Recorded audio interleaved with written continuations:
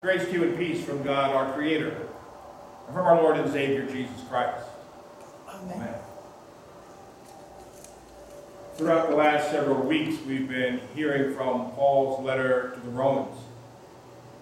We've heard Paul describe for us the necessity of relying on God's grace for salvation, but also the need for God's Spirit to help us as we struggle between our earthly, physical desires and how God wants us to live.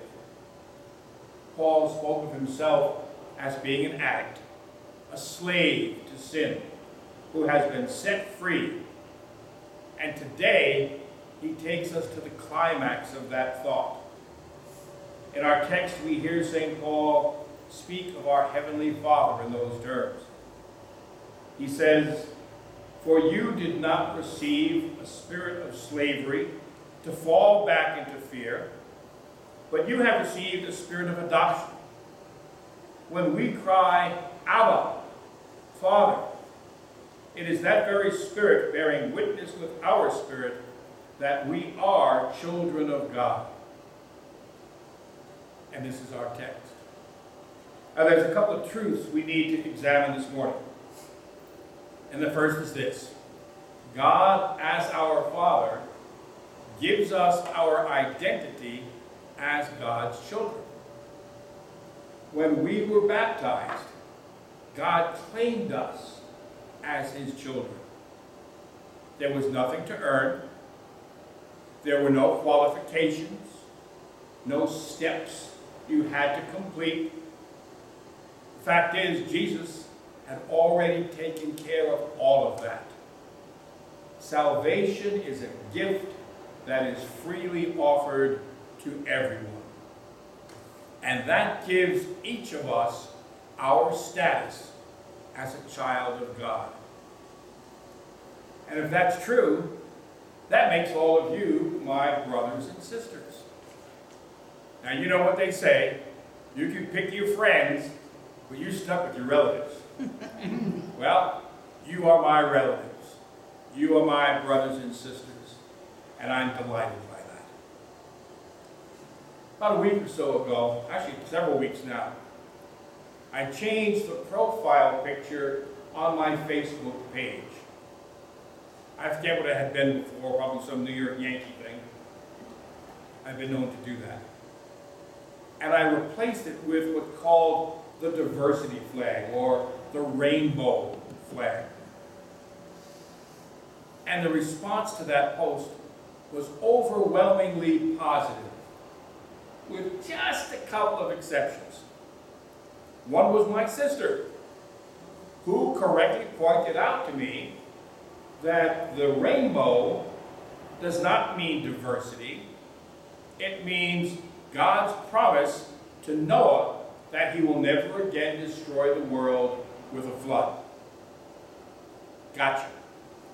And like I said to my sister, things can have more than one meaning, you know. but there was this fellow who wrote to me and wanted to know if I was one of Satan's disciples. he, he wrote to me, he wanted to know if I support child pornography and pedophilia and bestiality. Now, I understand that Facebook, Instagram, Twitter, these are like bulletin boards, just electronic. And anybody can post anything there. And typically, it's possible for people to get into this, I'll call it a dialogue, where they're taking shots at each other and calling each other names. The best way to win that game is not to play. So I posted there that obviously we disagree, and I would be more than happy to engage you in a dialogue about this privately. But I'm not going to do it here on the bulletin board. So I wrote to the guy, and he wrote back. He, he called me a child of Satan. He wanted to know if my tongue was forked. He wanted to know if I was, I mean, he was just insulting. And so I just shut it off. But the thing is, I wasn't trying to make a political statement. It's about inclusiveness. It's about acceptance. It's about the fact, like we heard Isaiah say, our Lord is God. We're not. I let God do God stuff. I got enough to do to take care of my business. I got enough to do to take care of my sins.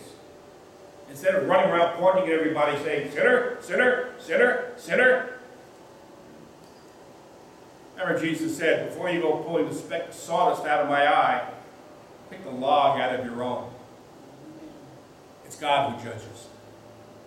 And we heard that in the gospel lesson this morning, where someone planted weeds among the wheat. And the people wanted to tear out the weeds. But the master said, no, don't do that, because if you do so, you'll harm the wheat. You'll destroy the crop. I'm not making a political statement. I'll leave that to the politicians, who will tell you whatever they think you want to hear anyhow. I'm making a statement, and I fly that flag because the person in bed with you at night is none of my business. I fly that flag so that the Asian family across the street from me will have no reason to be afraid or blamed for COVID. I fly it so that a couple holding hands in a restaurant need not worry about whether or not I'm going to judge them because they're both the same gender. Similarly,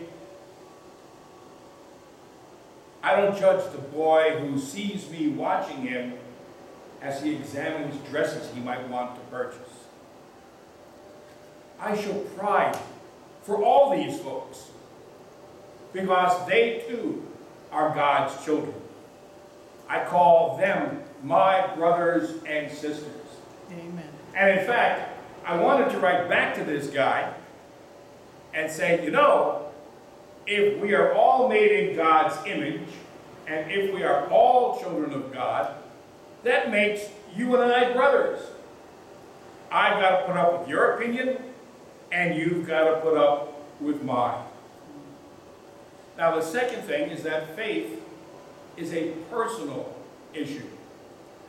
God wants us to see Him not as some far off, distant deity, but rather as a personal God. All the names in Scripture that speak to God or speak of God are significant.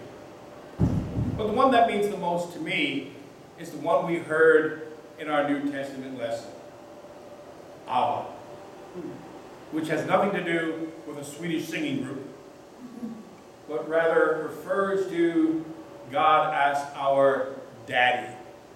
Not just father, but daddy. Now, I've got a stepson and a stepdaughter. I never think of them that way. I think of them as my son and my daughter.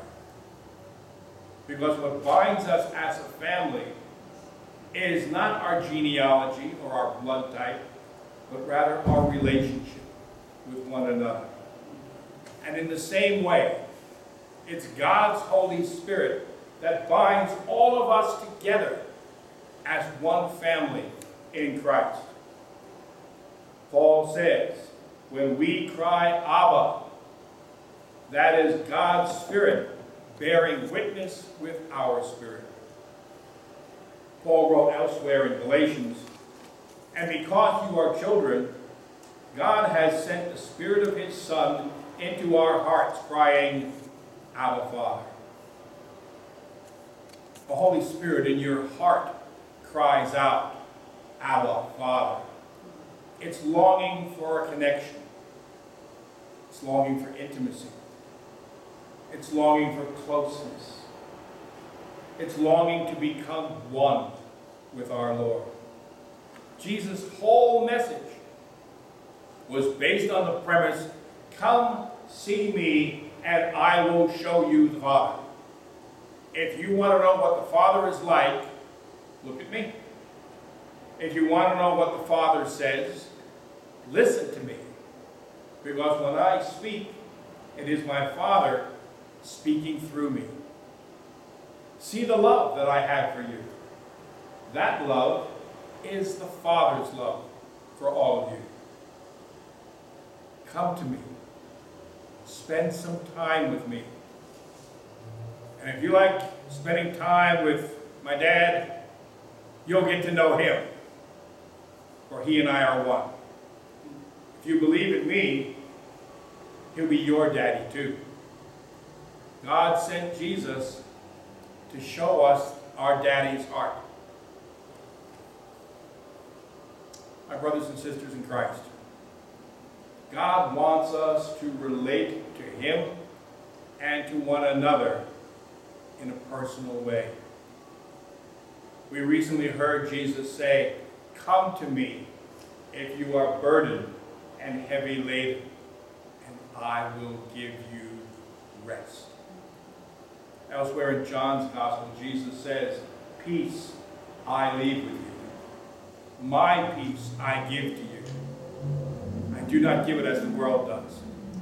Do not let your hearts be troubled, neither let them be afraid. Once upon a time, a seminary professor from Minnesota was vacationing with his family in Tennessee. They were eating breakfast in a little restaurant, hoping to enjoy a quiet family meal. And while they were waiting for their food, they noticed a rather striking gray-haired man walking throughout the restaurant, stopping at each and every table and chatting with the patrons. And the professor thought to himself, oh no, I just want some peace and quiet. Please don't have him come over here. Howdy, said a friendly voice as he walked up to their table. Where are y'all from? Minnesota, was the response. Well, it's great to have y'all here in Tennessee. What do you do for a living? Yeah, sure, I'm a seminary professor. Whoa, so y'all teach preachers how to preach? Well, I got a really good preacher story for you. And with that, the gentleman pulled up a chair, sat down at the table. And the professor groaned and thought to himself, great, just what I need, another preacher story. Man started and said, y'all see that mountain over there? Well, once there was a boy not far from that mountain who was born to an unwed mother. And he had a hard time growing up because everywhere he went, people would look at him and say, who's your daddy? Mm. Hey boy, who's your daddy? And it got so that the young man tried to avoid going out in public. He hated going to school, and he hated going to church. Well, wouldn't you know, his church got itself a new preacher. And on the very next Sunday, while the boy was sitting there in the pew, preacher got done sooner than anybody expected. And now the boy's trapped. He can't sneak out the door before the service is over. And as he's lined up here in the center aisle, and everybody's shaking hands with the preacher, the preacher looked at him and said, Y'all look familiar. Who's your daddy? And immediately the boy cringed because he knew that every eye in the room was on him. Well, this preacher was astute enough and inspired by the Holy Spirit to continue, oh, shoot fire. I know who you are. I can see the family resemblance. You're a child of God. Hey, guess what? So am I. That makes us brothers. Now, why don't y'all go on out and claim the inheritance that God set up for you? Well, from that point on, whenever somebody would challenge the boy and ask him, who's your dad? He would respond, I'm a child of God. And with that, the distinguished gentleman got up from the table and said, Isn't that a great story? And the preacher professed, That was a great story. And as the man turned to leave, he said, You know, if that new preacher hadn't told me that I was a child of God, I probably never would have amounted to much of anything.